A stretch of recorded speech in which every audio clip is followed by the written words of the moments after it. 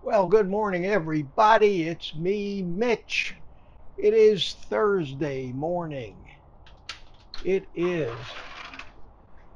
beautiful out here. It is a gorgeous morning for a walk. And with all the rain we've been having down here lately, I think that uh, I need to take advantage of the nice weather. It's a little breezy out here this morning. It's in the low 70s. It just doesn't get any prettier than this. Let me give you a little look around here and you can see, you can see just how pretty it is. Okay. Filming this because everybody always asks me, how do you do that, Mitch? How do you get those shots when you're just filming yourself? It's a 360 degree camera. And I'm going to show you by panning around right now and show you what I can see. And I can pick any part, any piece, any view, zoom in and out in the editor and create and create a movie. So here you go. I'm going to stick you up in the air and I'm going to show you what views I have available to me. And it almost looks like a drone view. And there goes my buddy Ray but it's really, really cool. And it enabled me to do that video yesterday in Sam's Club by myself and make it look like I actually had a cameraman following me around. And I know that this is not a photography channel and it's not about all this technical stuff. But I do get asked an awful lot, how did you do that? So I thought I'd take this camera for a walk this morning and show you a little bit about how how I do that. As far as the audio goes, I'm wearing this wireless microphone. I have a pendant under my shirt. This microphone has a magnet and it attaches attaches to my shirt. And I find instead of clipping it up around my collar, I get much better sound just by letting it hang on my chest. I'm wearing today, I'm wearing my Food Pyramid Old Guy Carnivore t shirt, which is available in my merch store on my website at oldguycarnivore.com, along with everything else. So you can check that out. So the camera stuff out of the way, the t-shirt stuff out of the way. What did I want to talk about this morning? Well, this is not a rant, but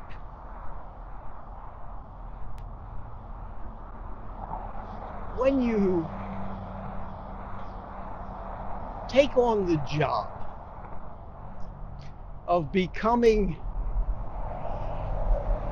a YouTube content creator and you become a YouTuber, most of us, first of all, have no friggin' idea what's involved. What's involved? We have no idea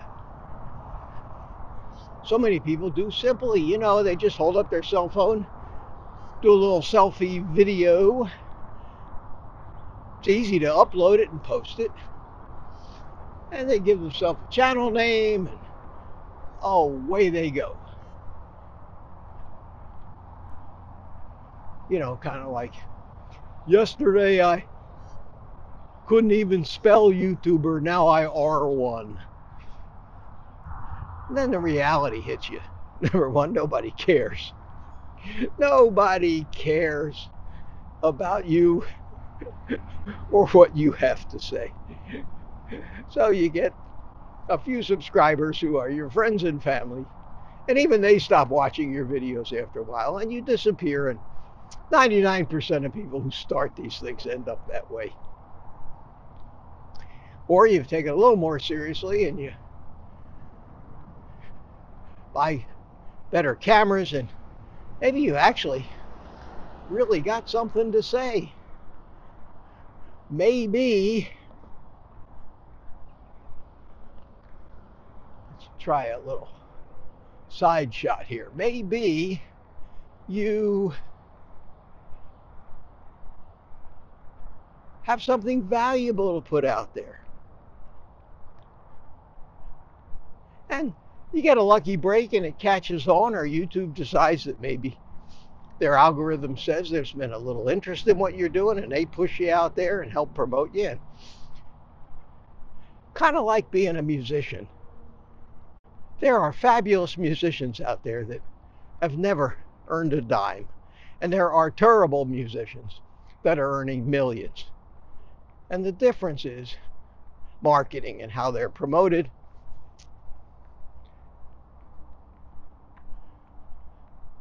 It's not fair, but it is. It is what it is.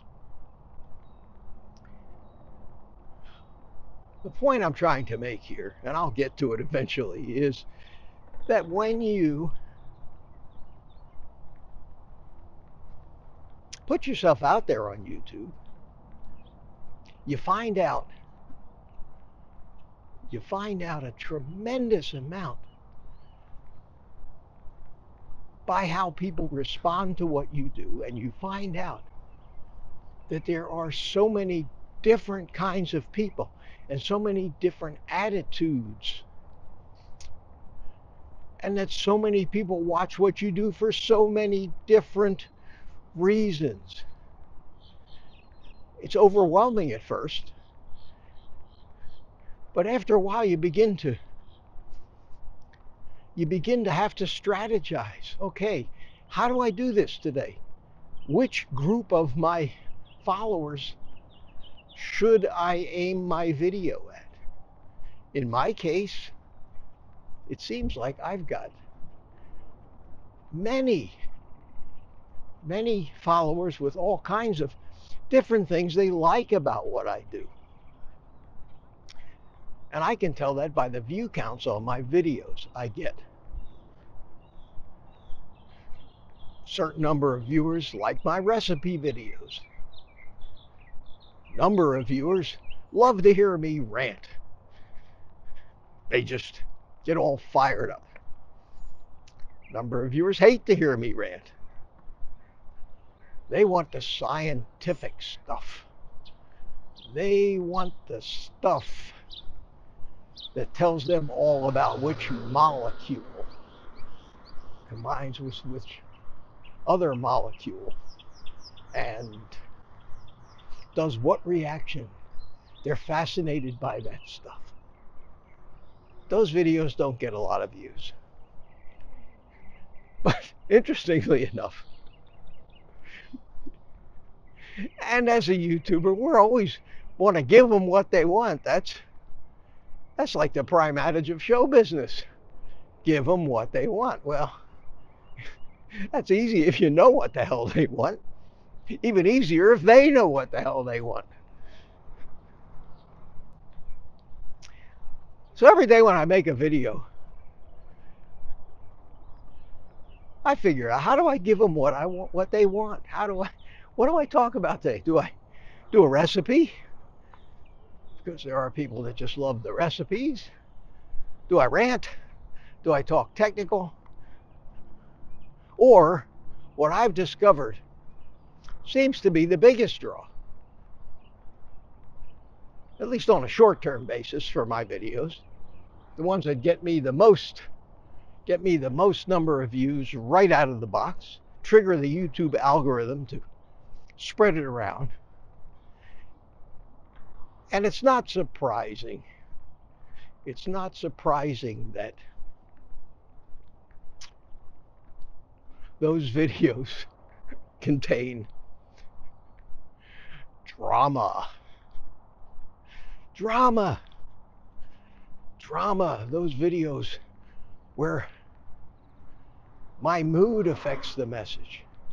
If I'm having a bad day and I and I tell you why, if I ask for your help, if I talk about me and my life, my struggles, my history,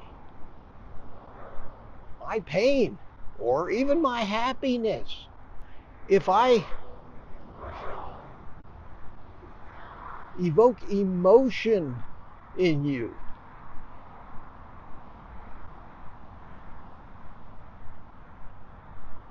it keeps your interest. And you watch, and those videos get a lot of views. Unfortunately, too many YouTubers capitalize on that. So they go out of their way to create to create emotion when none is there. And that just ends up in ridiculous clickbait titles. Like, you have to stop carnivore immediately. The thing that I discovered that will kill you. And then you figure, holy shit, there's something really important here, and you click on it.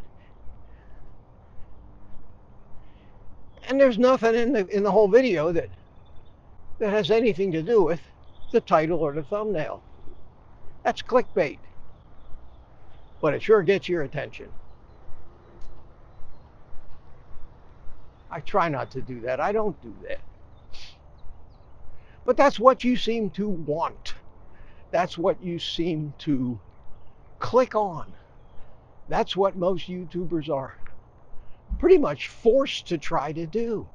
Because it, unless we create something that grabs your eye or attracts your attention, no matter how good our videos are, no matter how important our message is, no matter what we've discovered, no matter how much what we've discovered may enrich your lives, you're not going to click on it.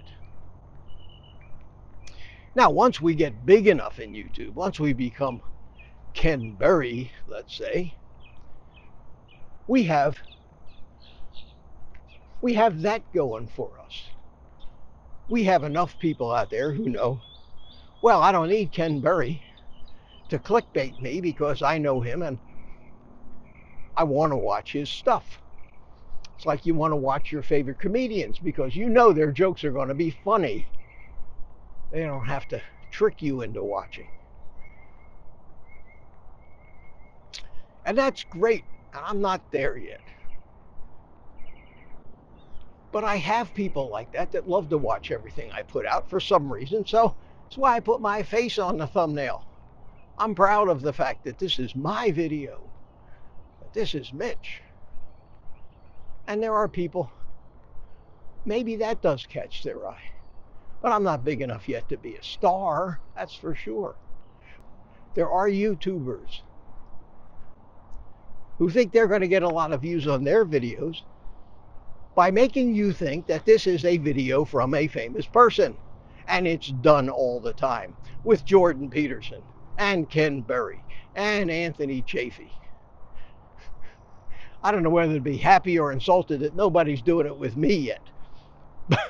but I don't. I don't like that. So this thing that started out for me, and where I'm going with this, this thing that started out for me as just a way to say, hey, this shit works. Look what happened to me. Look how it's changed my life. Look, look how it's changed my mental and physical states. I would like to share this with people. What started out as that has become a daily, a daily strategy meeting on what do I need to do today? Which group of people do I need to address? And uh, what do I want to talk about when I do?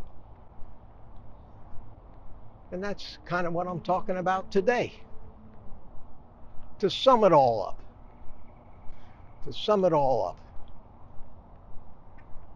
I've learned one valuable lesson, and that is I cannot please all of you every time, no matter what particular type of video I decide to put out. Somebody's always going to tell me that this, my recipe videos bore me, this video bores me. People just love, they just love to tell me what they don't like.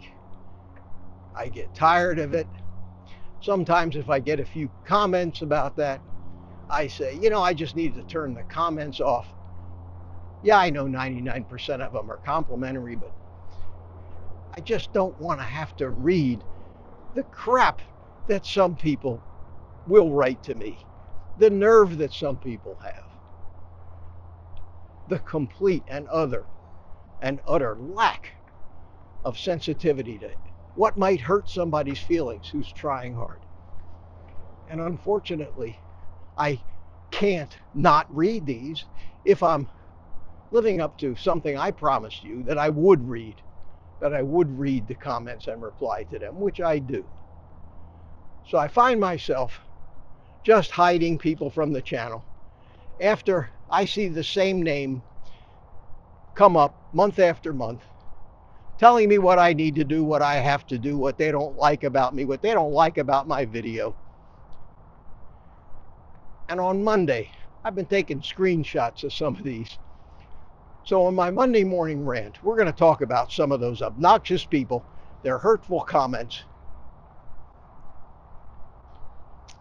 and how hard, how hard it makes it to stay positive and happy being a YouTuber, trying to help people. And that's about it for this morning. Hope that wasn't too boring, or I hope it wasn't too much drama. Whichever it was, take the rest of the day off and eat meat.